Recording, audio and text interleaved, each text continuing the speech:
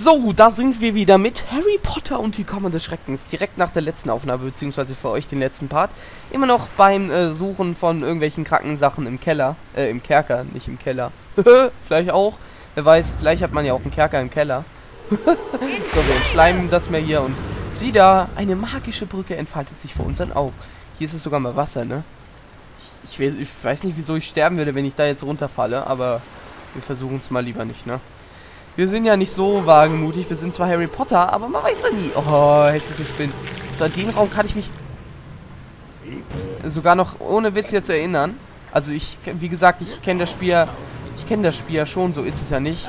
Äh, nur ist das schon Jahrzehnte wirklich her und naja gut, Jahrzehnte, es ist genau ein Jahrzehnt her, als ich das gespielt habe. Als der gute Herr Mr. Murr natürlich gerade mal schnucklige, was weiß ich, neun Jahre, zehn Jahre, irgend sowas war es bestimmt mal, man weiß es nicht. Habe ich den jetzt ins Wasser geschmissen? Ich weiß nicht, keine Ahnung. Wow, Beefs! Hallo, Beefs! Hallo, an den Socke! Wow, von dir habe ich mich echt erschreckt. Ey, Beefs, an dich kann ich mir sogar noch erinnern. Ey, geil. Beefs! Komm, alte Socke!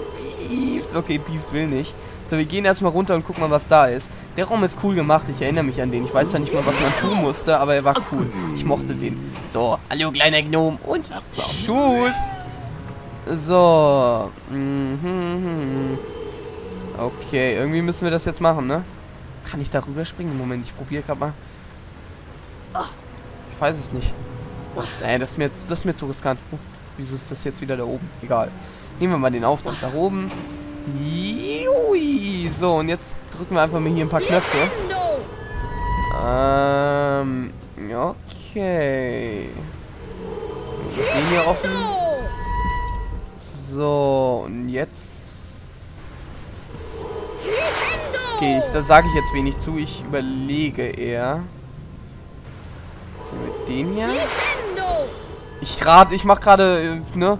Frei, frei Schnauze probiere ich einfach was, sollte klar sein. Nicht, dass ich da... Ich bin kein Mensch, der bei sowas länger überlegt und dann die passende Entscheidung trifft. Ich mache das jetzt einfach. So, das war auf jeden Fall schon mal falsch. Das kann man so nicht machen. So, wir nehmen mal den ganz außen. Wo müssen wir überhaupt drängen? Am besten... Am besten holen wir uns erstmal die Bonustür, ne? Die Bonustür kriegen wir jetzt schon. Ich glaube, das linke ist die Bonustür. Ich hoffe, den Sprung können wir überhaupt schaffen, ne? Können wir... Ich versuch's einfach, was soll's. Ja! Okay, Harry hat das geschafft, mit dem Knie aufgekommen. So, und hier können wir zumindest schon mal die Bonustür öffnen, oder? Ja, geil. Die will ich sowieso haben, also passt das. Silberne Karte? Bohnen. Oh, okay, wir kriegen aber reichlich Sachen. Ich meine, gut. Eigentlich würde ich gerne lieber eine silberne Karte haben. Aber über so einen Scheiß kann ich mir aufbauen irgendwo. Habe ich wieder super süchtigen Lebenstrank. Ich weiß immer noch nicht, was der bringt. Ich glaube, er wiederbelebt nicht. So, dann wollen wir doch mal schauen. Können wir überhaupt wieder... Sehr gut, Harry. Auf dich kann man sich verlassen. So in manchen diversen Situationen. Eventuell, vielleicht mal. Und jetzt gehen wir das Ganze mal so an. Sehen, ob das in irgendeiner Weise funktioniert. Ja, jetzt machen wir die blauen. Okay, okay. No problemo. Müsste jetzt eigentlich... Ja. Problem gelöst, meine Freunde. So easy geht das. Und Aufzug bitte. Fahrscheine bitte. Nö, so, hier durch. Hallo, freudige Welt auf der anderen Seite. Mein Name ist Harry Potter und ich laufe hier durch den roten Teppich. Was geht? Die Lütti, wow, viel zu große Tür, wo kein Mensch durchpasst, außer Hagrid. Wobei, ist Hagrid überhaupt ein Mensch? Und, ha, die heiligen Hallen des Professors Snape. Wieso er auch immer so lange braucht, wenn er Sachen holt. Das erklärt einiges. So, wir gucken mal, was wir hier so maximal rausholen können aus der Kammer. Wir dürfen hier nichts liegen lassen. Snape hat das verdient, dass wir ihn ausrauben. So. Gucken wir nochmal, was schön ist. Was haben wir hier? Miranda Habic... Ne, Habicht. Habici, ja. Berühmte Autorin von Zauberbüchern. Ja, die sieht auch so aus. Ne, ganz freudige alte Dame. So, geh mal hierher. Die Böhnchen nehme ich auch mit. Jedes Böhnchen macht ein Tönchen. Der wird's wieder auch nie langweilig. So, hier können wir einmal drücken. Und da geht die Tür schon mal auf. Das ist doch schon mal schön. Das heißt, wir kommen notfalls auch wieder raus. Was ja auch irgendwo erwünschenswert ist. Ich will eigentlich eher weniger hier mein ganzes Leben verbringen. Schließlich bin ich Harry Potter und das ist, glaube ich, nur ein Teil, ne? Ich meine... Oh, okay, ich verstehe. Ich verstehe. Das ist ja ganz praktisch, ganz schön zufällig, dass das wieder ausgerechnet mir passiert, ne? ah, wieso hat er auch immerhin Bohnen im Labor? Ich meine, beziehungsweise im Kerker, Keller, was auch immer das jetzt darstellen soll. So, und... Hallo! Kann man dich hier mal so... Tschüss in die... Ne, das ist keine Lava, oder? Ne, wenn, dann ist ganz schön schlecht dargestellt. So. Spiel speichern. Ich möchte jetzt wenigstens den Kerker noch äh, fertig machen. Das mache ich auf jeden Fall jetzt noch in der Episode. Und meine Stimme versagt langsam. ich nehme viel zu viel auf im Moment. Beziehungsweise es macht mir ja Spaß, aber ich meine Stimme will so langsam nicht mehr. Egal, egal. Das, das schaffe ich noch. Das schaffe ich noch. Ich sollte auch aufhören, meine Stimme zu verstellen. Das ist übel. Aua, was ging hier ab? Ah, wir haben hier quasi so einen Mechanismus in Gang gesetzt. Und hepp. Sehr schön. Oh, jetzt dürfen wir warten. They spin me right round, baby, right round. Du, du, du, Überhaupt nicht meine Musik, aber immerhin in dieser Situation passt es so. Schleim mal die ganze Kacke. Und App. Sehr schön. So funktioniert der ganze Rotz und wir kommen hier zügig weiter. Schön. Äh, hier kann ich... Okay, so weit reicht die Zauberstab-Energie nicht. Und wir sind Chuck Norris. Ja, nicht Chuck Norris. Hier, Johnny Knoxville. Er ist ein cooleres Vorbild. Hey, so. Einer, zwei und... Ja, ja, super Suchti-Modus. Das haben wir cool gemacht, oder? So, wollen wir die Karte mal speichern? Ja, tun wir das. Und dann gehen wir hier nochmal durch. Oh, hier ist ja gar nichts. Ist da hinten nichts? Cool. Oh, ich höre kranke Geräusche. Aber immerhin habe ich hier eine Karte und... Hallo! Na, Kollege, gleich. Wir, wir spielen gleich eine Runde. Grogan Stump, beliebter Zaubereiminister, im Jahre 19, 1801, 1811 ernannt wurde, war aber ganz schön lange im Amt, ey. Lieber Mann. Ja? Die Wand ist schon spannend, so wenn man mit dem Kopf drin feststeckt, ne? Hallo! Ich mag die Viecher, ne? Die sind so cool. So. Tschüss! Oh, du lebst noch, geil. naja, was heißt du lebst noch? Du bist, noch da. Was ist das denn? Äh, so gehört sich hier aber kein Benehmen, ne? Das wollen wir mal vermeiden in dieser äh, Episode. Also, die, ah, das eine Böhnchen da.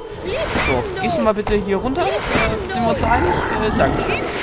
Zu freundlich von dir. So, jetzt können wir hier auch hoch. Wow, was eine Überraschung.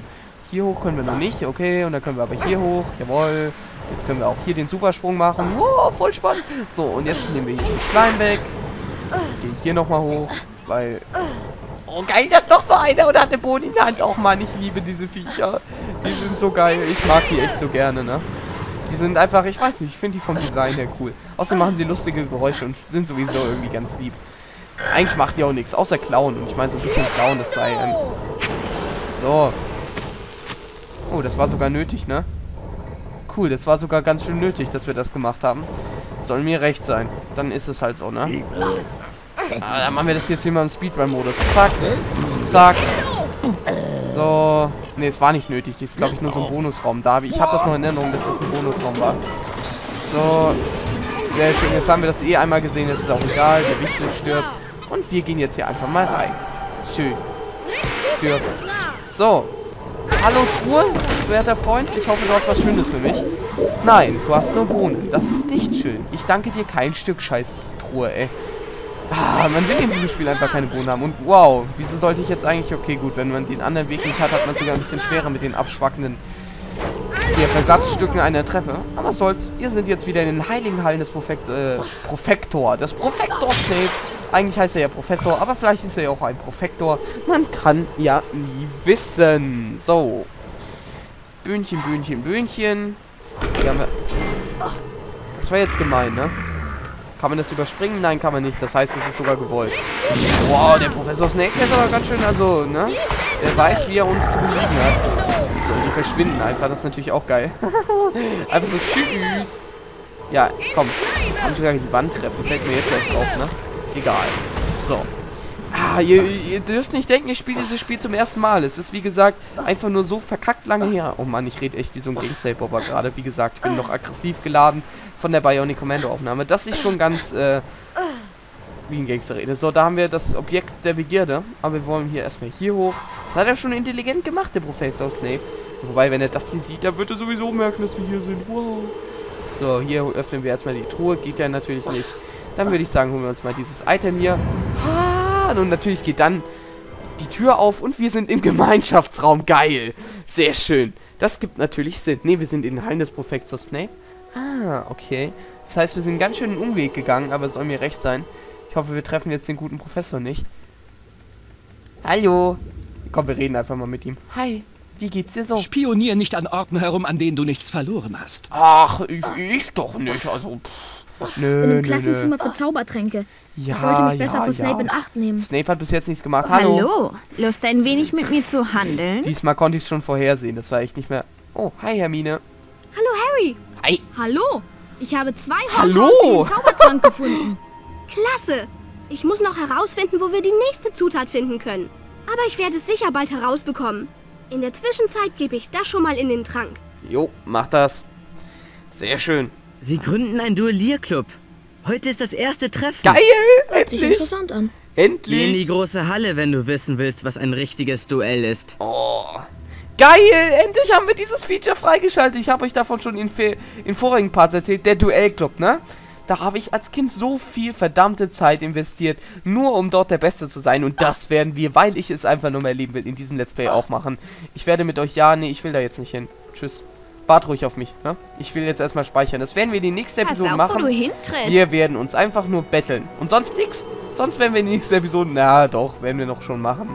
Aber das wird erstmal ein Heidenspaß, worauf ich mich jetzt schon sehr, sehr freue. Das Hinter heißt, dieser. Tür findet die Entschleim-Herausforderung statt. Ups, da wollte ich gar nicht hin. Danke, Harry. Diesmal warst du sogar echt nützlich. Ja, das werden wir in den nächsten Episoden machen. Und da habe ich schon eine enorme Lust drauf, denn das sind Dinge, da freut sich mein altes Herz für Kindheitserinnerungen. Ach, schön. Schön, schön, schön. So, wir machen jetzt hier mal keinen Suizidsprung, weil ich das letzte Mal gemerkt habe, dass das ein bisschen viel Leben kostet. Und wir sind gerade Hallo, so voll. Lust Nein. ein wenig mit mir zu handeln? Oh, ich Hallo, Lust ein wenig mit mir zu handeln? So, wir speichern. Und das war's dann auch erstmal mit dieser Harry Potter und die Kammer des Schreckens Session. Wir haben die, äh, den Kerker von Snape fertig gemacht. Das ist doch immerhin schon was. In den nächsten Episoden kommt der Duellierclub. Dann machen wir die zweite Zutat und mal schauen, wohin uns der Weg dann treibt. Vielen Dank fürs Zuschauen. Mein Name ist Mr. Möhr. Ich hoffe, ihr euren Spaß. Ich hatte ihn definitiv und geil!